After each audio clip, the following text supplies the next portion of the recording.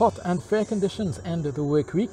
Tobago hit 34.5 degrees Celsius at Crown Point, and Trinidad hit 34.3 degrees Celsius on Friday at Piarco.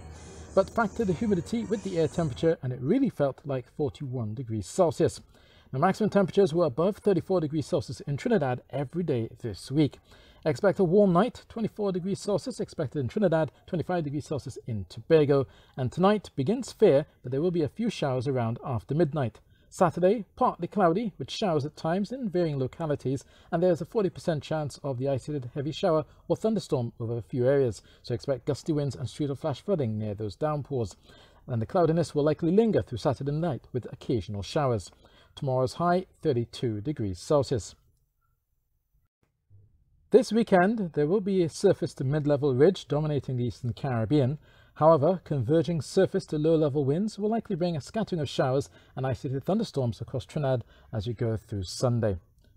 For mariners, the marine forecast is for northeast to easterly winds of 10 to 15 knots with a slight to moderate chop with offshore waves of 1.5 meters and under a waxing moon, just one high tide expected on Saturday at 1.15 p.m.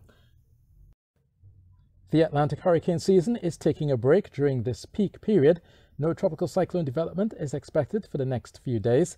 The hurricane season peaks from mid-August to late October and two months to go until the season officially ends on November 30th. But it's set to be continuously active as we go towards next few months as the Atlantic Ocean is warmer than average and we have a La Nina which favours above average activity. I'm TTT meteorologist Ean Wallace.